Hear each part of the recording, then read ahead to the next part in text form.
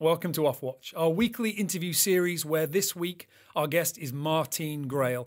Now, I got the chance to ask you for any specific questions last week that you had for this Brazilian sailing star. Thank you very much for everybody that sent those questions in and helped me form the basis of this interview. Martine can sometimes be a little bit shy in front of the camera. However, she's always pretty honest. And she spoke to me very candidly about what it was like on board Team AkzoNobel at the start of the last edition with all the drama that they were facing. Plus, she explained why she doesn't actually like talking about her gold medal winning performance at Rio 2016. If you enjoy this interview, like and subscribe for more. We've got plenty more interviews coming up in the next few weeks, but in the meantime, enjoy this one.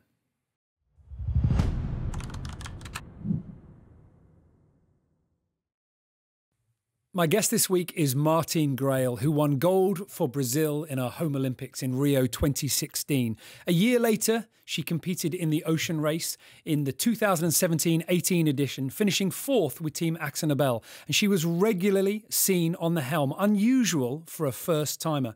At 29 years of age, her sailing successes speak for themselves, and she has regularly ranked at the very top of the 49er FX Olympic class since it debuted in 2013. Um, Martine, thank you for taking the time to talk to me today. Um, let me just start off by by recognizing the fact that, of course, you are that Martine Grael. You are part of the Grael family, and I'm I'm wondering, you before you were born, your father Torben Grael, one of the most famous sailors in the world, wins two Olympic medals. As you're growing up, you're part of a family that adds another three Olympic medals, two of them gold and your father wins the ocean race with Ericsson 4, was it always inevitable that you were going to be as competitive as you are in the sport of sailing? No, um, I don't think so. I think the environment you grow up actually shapes you more than more than you know your blood.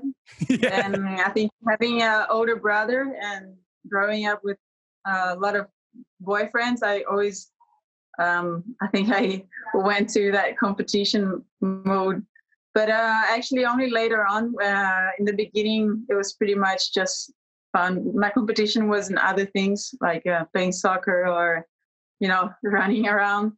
But um, as I got on with the optis and you know got on with other classes, um, I started really getting a uh, I go for the competition, and and I got to a moment where uh, my father actually asked me if I if I wanted to keep going because I like to I, I like to travel around or make friends or if I really like competition. And for me, that was a um, you know a, a very remarkable moment that I really like thought for myself that I really loved competition. And and you did well at a pretty young age. I mean, there's there's an awful lot that we could talk about with your with your optimists, and I mean, you you had a good go in the 29er, things like that. But I guess, you know, I'm wondering 420, uh, 2009 with the well, what was then the ISAF Youth uh, Worlds. Um, you do pretty well. You come away with a with a first place. Um, at what point was was that something special about going and representing your country, Brazil, on your back. I mean, you were young at that point. What you must have been maybe 18, 17, 18, and you're there representing your country.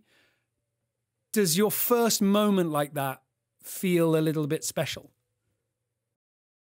Um, actually, the whole 420 uh, um, time that I had with my uh, different crews, they all um, they were all really good you know i i really had so much motivation. I was studying and sailing was not the pri- like the i was not a professional you know but i was still sailing four days a week and you know getting buses to go across the bay in rio and sail and and and i did um, two uh, open worlds and two uh, youth worlds one in the uh, 29er and one in the 420 and that second one in 2009 we uh, we won. And it was definitely you know i don't know the cherry on top of the cake of this whole 420 period. And i think the what really really is remarkable is like your training partners and who you sail with you know your crew. And it showed me how important it is even more important than having the best boat or the best you know is having the best crew.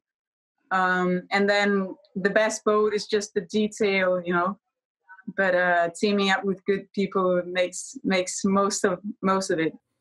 Okay well i want to get into that because obviously the ocean race you're not just teaming up with one person you're teaming up with an awful lot of people. There you know there's the the other sailors but there's a whole team in the background. But before i ask you about that let's talk about uh, uh, your crew in the 49er FX, a successful partnership that's still going well now, uh, Kahena Kunze. So when did you guys come together? Because you knew each other for a long time.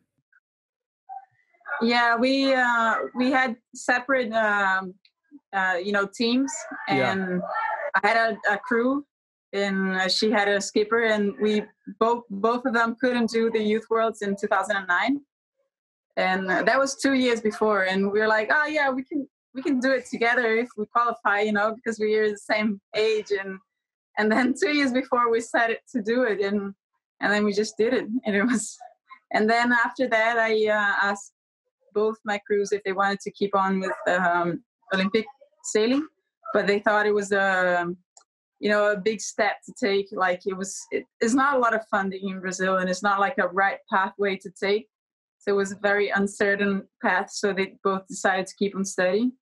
And I started sailing with Isabel in the 470 class, which is which was my um, debut in uh, Olympic sailing. And she had come from a bronze medal at the Beijing Olympics. Mm. So for me, it was like, uh, what a invitation, you know. I couldn't refuse that one. But you guys. And then, uh, well, later on, we, we, we started, we went back sailing together, me and Kahena. And we're still, today, we're, we're planning training in two days' time.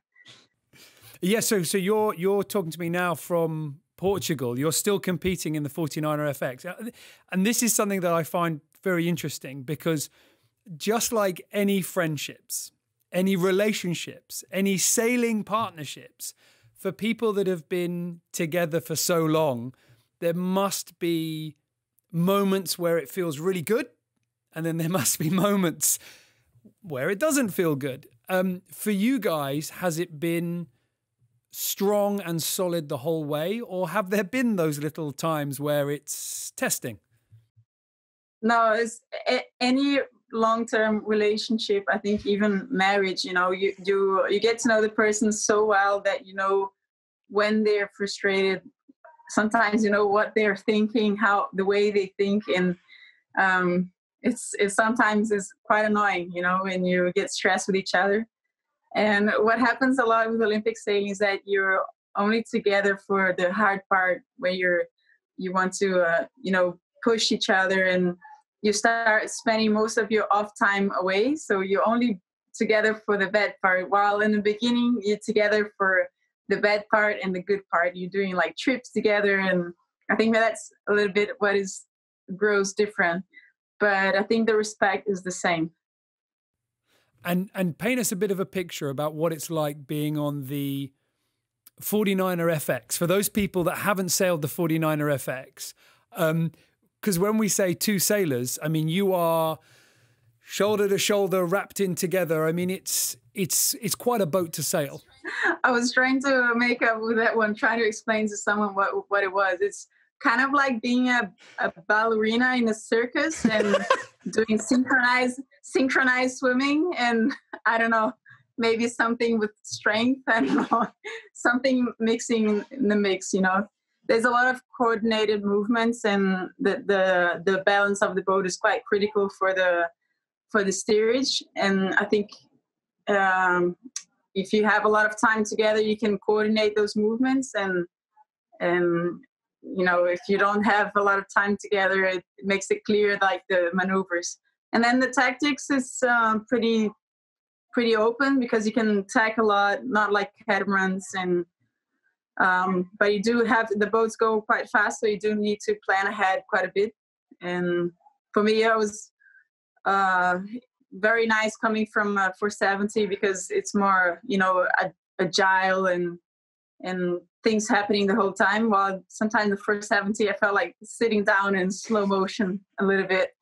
But um, yeah, so it's I love action and I love you know challenges. So I think that's a little bit what drove me to. Uh, to the ocean race. Yeah, so you, I mean, you had some familiar faces, obviously, and I'm wondering what it's like because at one minute you're racing against this peop- the, these people, and you must have had times where Francesca Clapcich or Tamara Echegoyen or someone comes in at a leeward mark, and you don't think that you know you, you think they broke the rule. You must have some moment where you were, shall we say, not very friendly, but when you're on the shore is that all forgotten? Are you just friends again?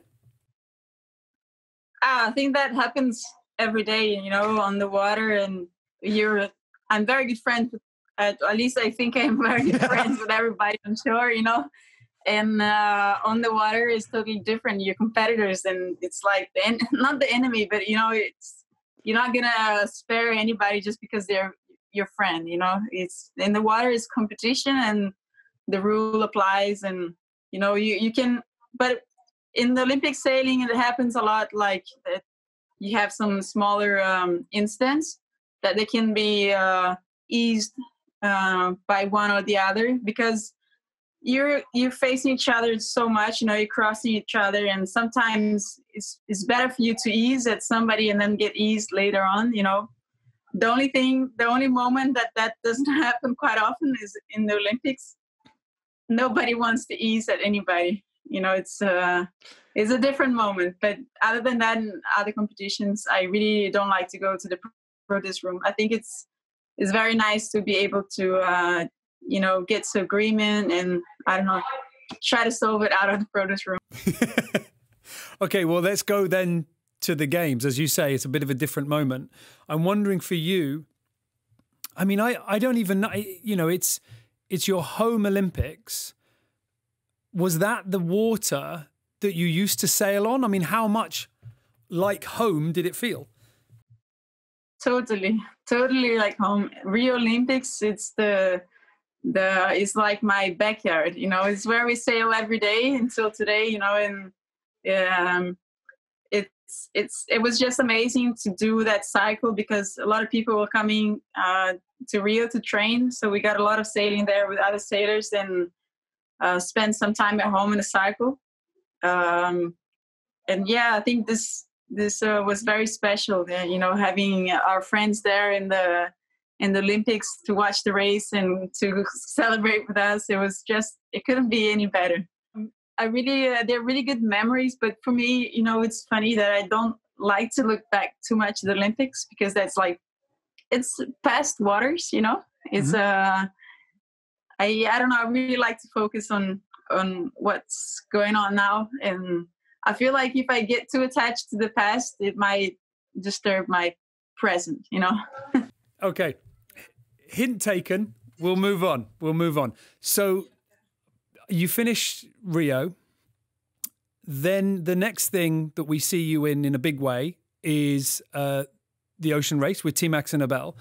There wasn't an awful lot of time between Rio in the summer of 2016 and then the start of the 2017, um, well, the Volvo Ocean races it was then. When did you get to be part of Team AkzoNobel? When did you get your first taste of sailing on a VO65? Um, actually, it was a bit before with Mapfre.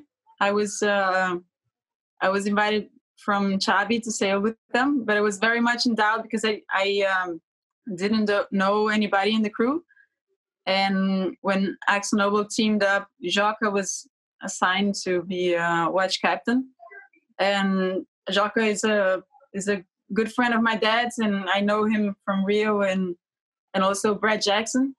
So I thought that you know starting on something that I didn't know and and it could be a difference to have like um somebody that I could you know go for and you know ask some honest questions and I don't know not be afraid of judgment and but uh, but as soon as I made that decision, I, I didn't get quite to try with AkzoNobel because all the legs that we did to to uh, training legs, there was no wind. I don't know. It was just something from the destiny. You know, there was no wind. We did motoring the whole way, and yeah, it was a shame. But uh, and then later on, just before the race started, we had a big issue in our team that the um, the skipper got taken out of the team um, with a lawsuit, and it was quite shocking for us. We didn't quite we didn't understand everything that was happening and what each part had done wrong. We just wanted to uh, settle up and get going because we thought the project would still go on, you know. And it was very confusing when Simeon got back.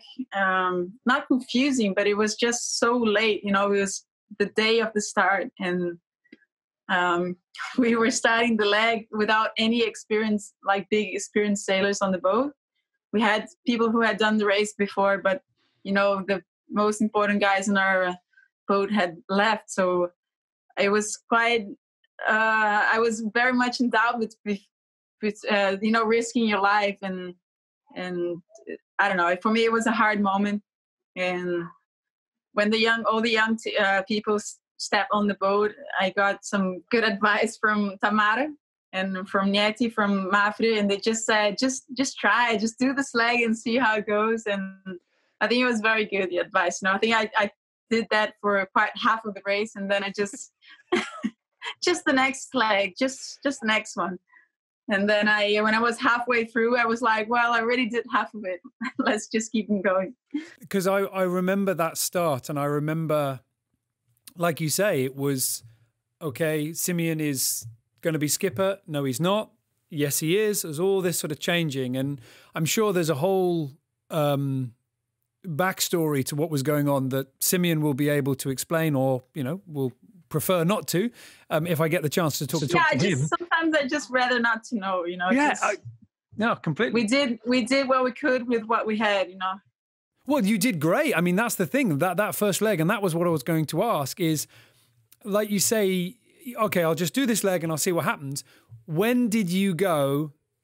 Okay, I this is still good. Was because the boat was performing pretty well. You, you know, you guys were doing really well when you came out of the med. Did it feel good straight away, or did it take you a while to feel like this is this is still something I want to do?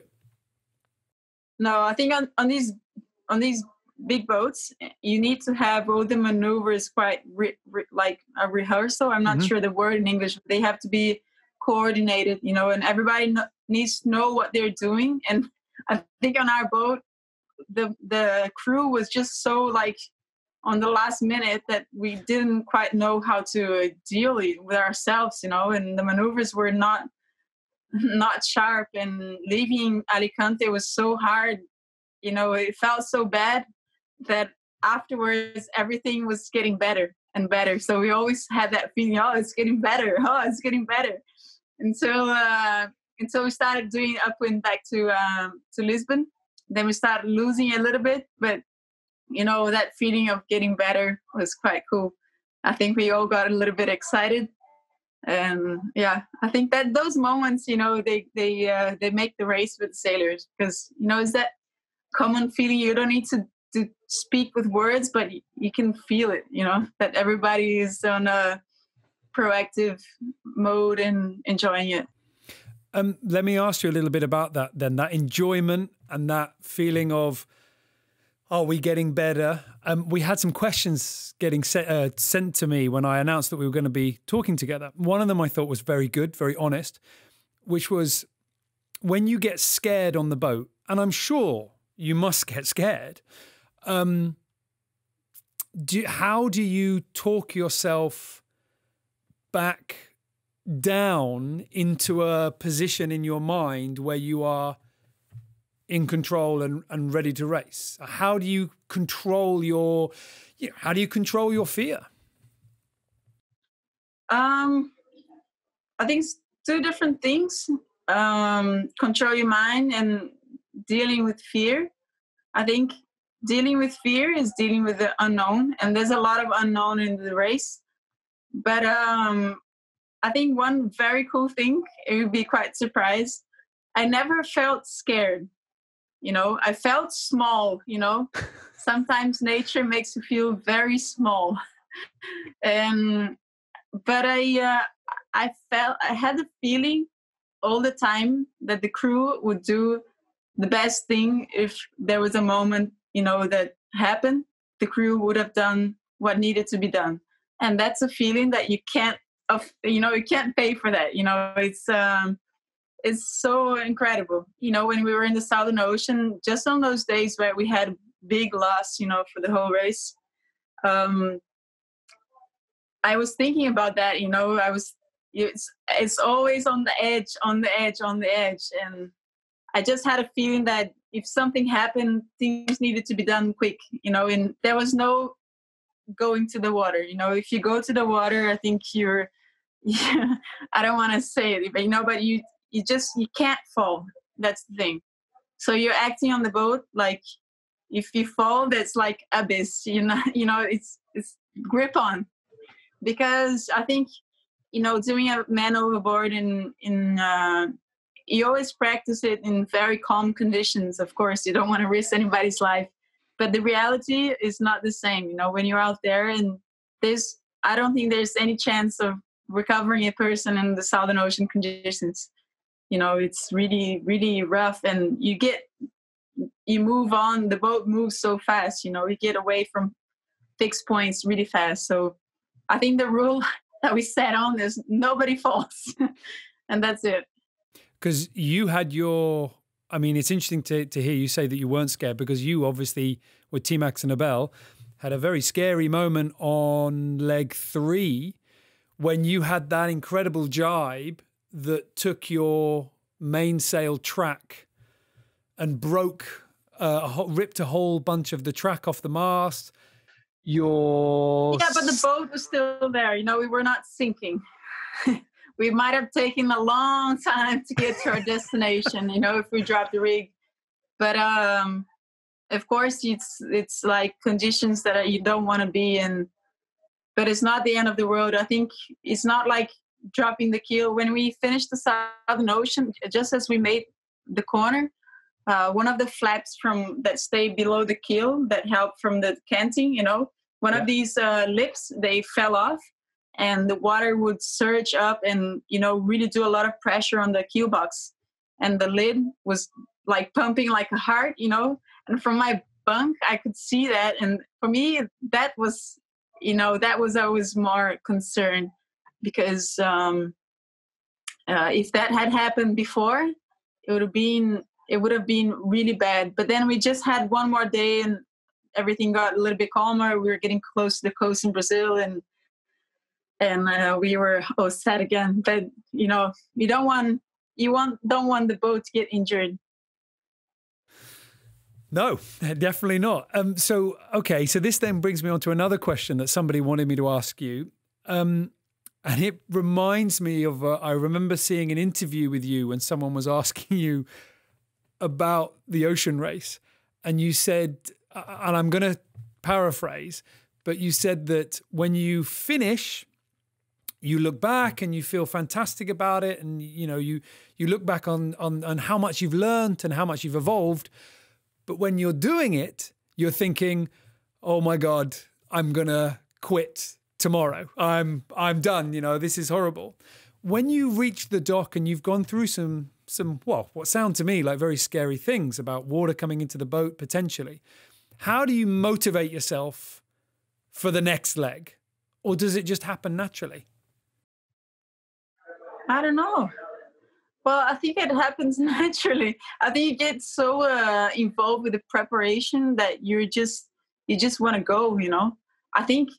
Well, that that that I can say for sure. Coming from dinghy sailing, you know, you you do some boat work in your boat, but you know, in the end, you just want to be on the water. And with these big boats, it's preparation, preparation, preparation, preparation. You do so much preparation, and you just want to go to the water because it's uh, it feels like you're spending more time on shore preparation, you know, in the preparation than you're doing on the water. So it feels good to go to the water. And, and what would if you? That prefer? answers your question. what, what would you prefer? But uh, I don't know what makes people do it over and over again, you know. but um, I don't know. It's something that happens, you know, because when you finish the race, you're like, oh my God, what an achievement. But I for sure don't want to do another one. And then time goes by and, you know, you do other things. And then you're like, ah, what if maybe, you know. yeah. Well, what would you what would you do then in between legs to prepare yourself? And I mean practically, you know, you step on board the boat, we see you all coming down on the parade and you're, you know, you're in your team kit, you step on board this boat and then you're going to go offshore for 4 weeks. You have a little bag with you. I mean, what do you say, right, if I I'm going to take these things, this is going to, you know, this is how I'm going to look after myself? Um, you mean what do I take in my bag? Are you are you a sweets? Are you a music? Are you a good book? Well, probably not a good book, but you know what I mean.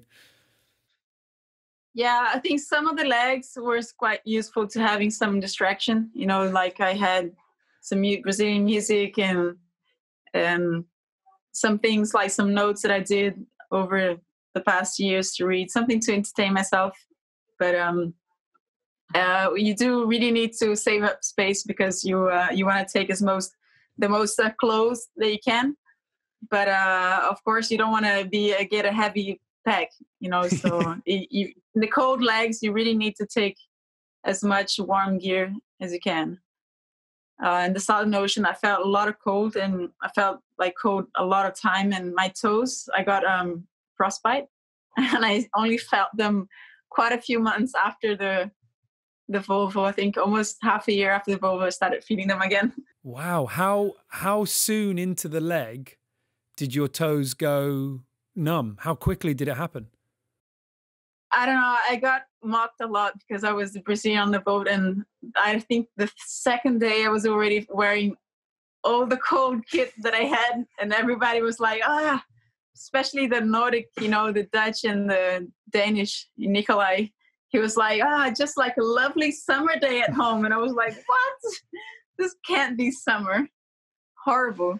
How how quickly into a leg like that, and and all of the legs really in the last edition started with big no, wind and big waves. Southern Ocean, how... actually, to be honest, we had uh, good conditions until I think the first uh, six days or something like that, and then we had a cold front coming by, and then it got really cold and really cold, really bumpy, and really fast. You know, all the time on the tip of your toes. You know, and uh, when you got downstairs, it was really um, you had to really be careful not to get injured inside. It was almost more dangerous inside than outside of the boat. And how quickly did all your clothes, all of them, become soaked, completely wet, and then that was it for forever? Um, I I was always quite careful of wearing like putting my clothes on and off not to try to get my socks wet mm. and but um the boat is so damp there's water dripping from the ceiling you know from humidity and it's just like raining inside the boat. When you're sleeping there's water falling on your face it's uh, horrible so humid. And the engine where we used to uh, put the keel on the lighter legs we use it a lot but on the heavy wind legs you barely use you know the keel because you're you get more more or less stable wind the whole way. Not stable wind but just strong winds and mm. you barely use it so uh, the times where you want to have your boot there drying it's very small so yeah it's just very damp and wet yeah what what was harder the freezing cold of the southern ocean or the hot sticky humidity of the doldrums? Hmm. It's a hard question because for the um, some people, for sure, the hot and sticky was the worst. For me, it's just different. It was the cold was hard on your body. You know, it was just mm. really hard. But you get quite tired of the heat. Like when it's ongoing for many days, it's just uh, a lot of people starting getting rashes and you know all kind of skin problems. So it's a bit disgusting and the cold it just hurts so much you go inside when you're your fingers are defrosting you know when you're heating them up it just it also hurts so i don't know it's hard hard choice i think i, I like the action more you know so the cold and the strong winds were you pleased with how you behaved um, when it got that cold. I'm thinking back to some of the small offshores that I've done, and I remember sitting on the side of the boat, looking down and seeing a rope that was in the water, but thinking, I am so cold. I'm a bit seasick. I'm not going to go. I'm just going to pretend that I haven't seen it. Were you able to just always be competitive and always working hard, or were there times where the, the cold got the better of you? No, I think the cold makes you want to move, you know. So mm. on these occasions, you just you do want to move and want to get up that get that rope out of the water. The heat is for me it was harder because of the sun. So sometimes you know you didn't want to be in the sun, especially when you're um, if if it was really light and we needed a crew in the bow it was really hard to go sit on the bow in the sun. You know, if you're trimming the sails, okay, but if you're sitting on the bow, it was just like ah, unbearable. Let's talk. Let's talk about helming um, the boats. And before I ask you to try and describe what helming a 65 is like, um, I think it's fairly, you know, it, it's a fair thing to say that it was unusual to see someone like yourself um, who was a first timer, but not only that, a female competitor in the race, and famously, the females have been overlooked. For a long time, we've had many good female helms, but just the teams have not been picking them. When you joined Team AkzoNobel, did you say, look, I want to drive? Not all the time, but I'm good at driving. This is what I do on the 49er and I want to be on the wheel sometimes? Um, for me, it's a bit hard because I don't, I don't, uh, it's, I felt like there's a lot of, a bit of egos going on. And I'm not the person that says, I'm a good driver, I want to drive, you know? I will, uh, I feel like I will drive if I, if I deserve it, if I, if I like, if I'm good enough to drive, you know, and what happens is that before in the training, I didn't get any chance to try. And then halfway through the race, you know, Nico just, hey, just pass me the steering wheel. And it's like, whoa, you know, I haven't done that before, but yeah, let's go. And it was great fun trying, but I felt like, uh, you know, you want to do that in the best way you can. And I just felt like I didn't have the best conditions because I didn't have any preparation before but um i really like the opportunity but it, it just it's just you wanted the best for the team and you know a lot of the young other first timers did sail and helm it's just i think with girls they have a little bit of uh, a step back you know because they don't trust us as much as they trust their buddies you know mm. and it's it's a shame but it's changing slowly and I think we're part of this change. And I don't know. I'm not ashamed to say now that I for sure I want to help more and I have I want to have this opportunity to show that you know I can help well. It's just a matter of getting more time on the wheel. And I had a really good opportunity. I didn't have much time helming in the race actually, but uh, I had an opportunity in the Southern Ocean that Nico made my race. I had, you know, a few minutes driving down those waves, and it's just crazy, you know. It's just a small, uh, so narrow, you know, uh, where you have to go and the room you have to go a little bit up and down. And it just felt incredible, just feeling the boat on your fingers, on your feet, on your face. You know, it's so many different feelings you can use to drive so yeah, it was incredible. A, a lot of people uh, um, have come from high performance boats like the 49er, and then they've gone on to helm the VO65s, the VO70. I mean, Iker Martinez, you know, a lot of people seem to be going from the 49er. Is there a similarity in terms of the twitch, the, the, the style of driving that's required between the 49er and the 49er FX and the VO65?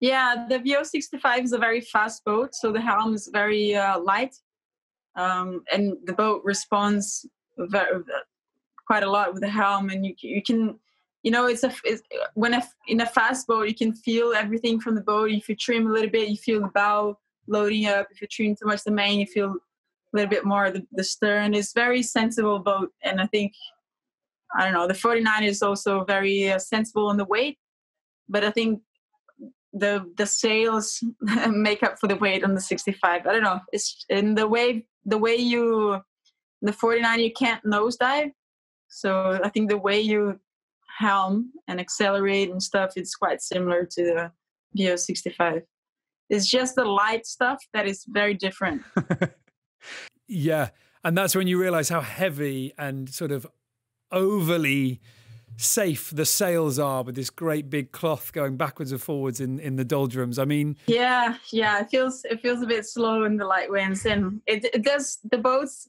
from the last race they were, uh, you know, they felt really safe. That was amazing, but they are a little bit overbuilt. When you're in the Southern Ocean, you feel great. You're like, don't want anything less than this, you know. But when you're uh, when you're sailing in like regular wind, you feel like you you want more uh, more uh, efficiency.